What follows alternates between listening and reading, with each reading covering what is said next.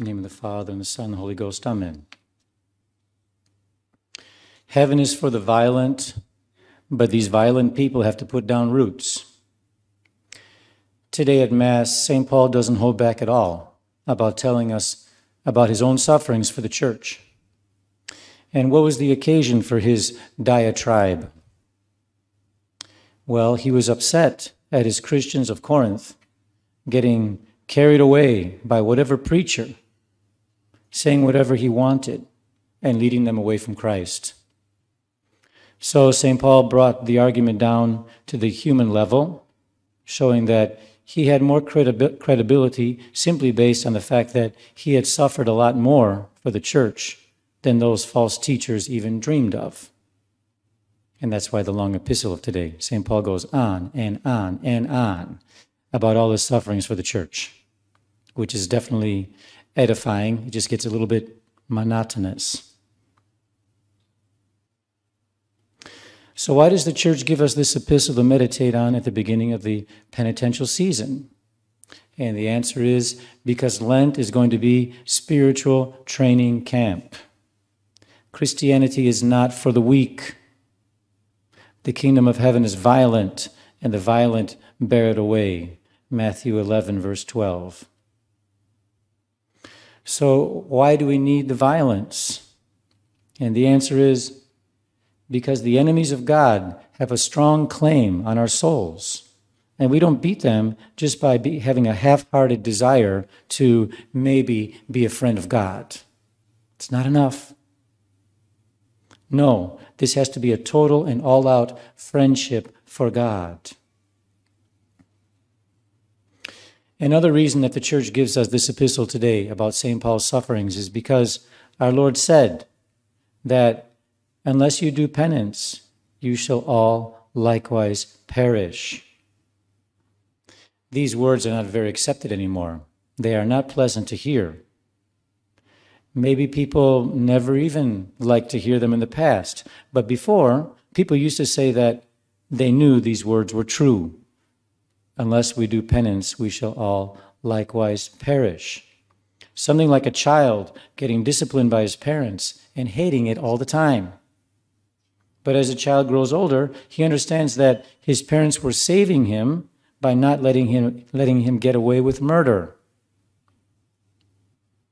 The problem is that nowadays people reject the idea that discipline is needed, whether for a child or for their own soul, and they assume that man on his own already has enough virtue to go to heaven. They assume that man already on his own has enough virtue to get to heaven. And that's been a long time heresy which has fought against the church, but now it seems like the church is finally going that same way, just you don't need discipline or penance for your soul. You have enough grace on your own to get to heaven. Well, this is false. So, Mother Church is looking out for us today by giving us this example of the trials of St. Paul. They're not just something to be admired, we certainly do that, but they also are a prototype for us. If St. Paul went through being scourged, if he went through being stoned, if he went, went through uh, suffering shipwreck, if he went through all these sufferings because, because he loved our Lord Jesus Christ so much to spread his church throughout the world, well, then the message is clear for us. Maybe I'm not going to be going through shipwreck, scourging, or whatever, being stoned, but all of us are going to go through some kind of suffering, and it is for the glory of God. It is something that unites us to his cross, and it is something that burns away the impurities in us. We need the suffering just as St. Paul had it. His sufferings are a roadmap for us. If he did it, we can do it too. Maybe not to the same degree or in the same ways, but he is still our model. Mother Church wants us to know that our Lord Jesus Christ is worth all kinds of sacrifices. In fact, if we are truly friends of Christ, we can expect to receive sufferings as he himself received suffering. And here's a note of a caveat, a note of caution. don't always be looking for the suffering to come from without. You know, enemies of the church, enemies of my soul, enemies of the practice of the Catholic faith. A lot of times the enemies are coming from right within ourselves. And, you know, we have a, a tendency to kind of lash out at people. We have aggressiveness. We have um, laziness. We have selfishness. These are part of the seven capital sins. These are our enemies much of the time. And they are the ones that wish to steal from ourselves, steal from us, the presence of our Lord Jesus Christ. And we must do violence against these enemies. You might wonder, you know, what is depriving ourselves of a little food, or what is spending more time on our knees, or what is coming to church to say more prayers? What does that have to do with um, getting rid of the enemies of my soul? And the answer is all of these things are somehow a little bit against our will, a little bit against our comfort, a little bit against our convenience. And by practicing these things, a little extra prayer, a little less food, a little more time at church, by practicing these things, we are, in fact, doing violence on our soul. And we are burning away the impurities from our soul. And that is building up the life of our Lord Jesus Christ naturally, I mean supernaturally, but um, very logically, that is building up the life of our Lord Jesus Christ in our soul. I'd like to make this humble comparison to an automobile. After a car gets a little bit old, the steering wheel will eventually pull to one side. I don't know if that's because of the way the road is shaped and uh, the steering wheel gets eventually gets damaged or because of a few bangs and dings with the car, kind of goes out of alignment.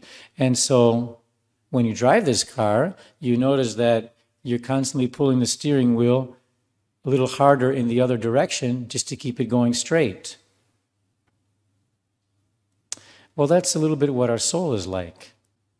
We love God, we wish to serve Him, we have our duties whereby we praise God, but quite often we are a car which develops misalignment because of our selfishness, our anger, our aggressiveness, these kind of things.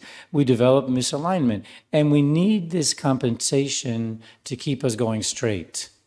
We're like a car that's pulling to one side, and because of the pilot, who's God, he steers us a little bit harder the other direction, and that's what keeps us going straight. Well, what is this compensation exactly? And the answer is penance. Penance is the compensation. It's pulling the steering wheel steering wheel in the other direction so the car keeps going straight. It's not nice, it's not pleasant, and it's a disturbance. But we have to admit that if we don't have it, our soul will go off the road. Or as our Lord already told us, Without penance, you shall all likewise perish.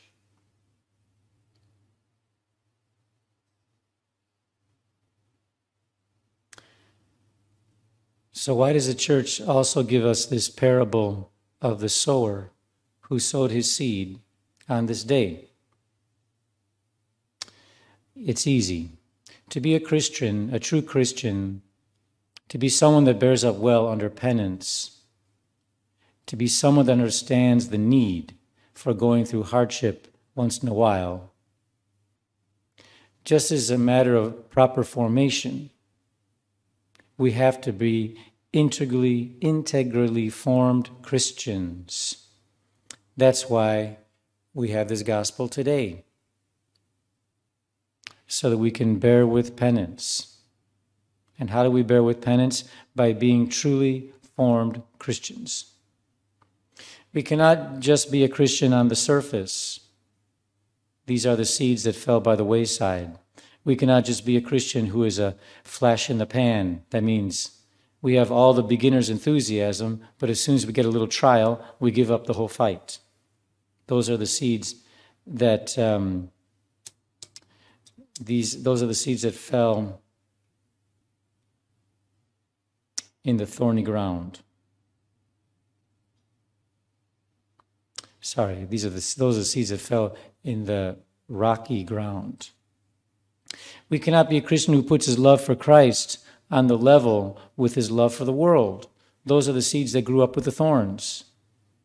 No, we have to be a Christian who is committed through and through, a friend of Christ in private and a friend of Christ in public, a friend of Christ during prosperity and during hardship, a soul which is patient and long suffering along with Christ, a soul which rejoices with Christ. That is the seed that fell in deep, rich, moist soil.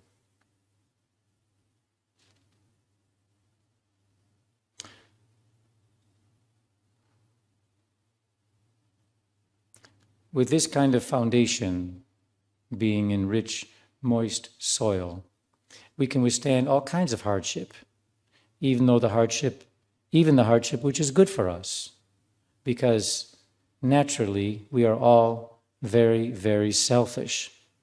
And this is the lesson that St. Paul went through. Because he was so formed in Christ, he could go through all kinds of trials and still love Christ more. This is a lesson that Holy Mother Church wants us to, wants us to go through at this time of year. We love God, and now we're going to go to training camp for His glory. Let us be willing to accept the challenge. Let us will, be willing to bear the cross. And may Our Lady win for, for you, the faithful, all the graces you need to be a true, integral Christian alongside of Christ during this very necessary time of penance. In the name of the Father, and of the Son, and of the Holy Ghost. Amen.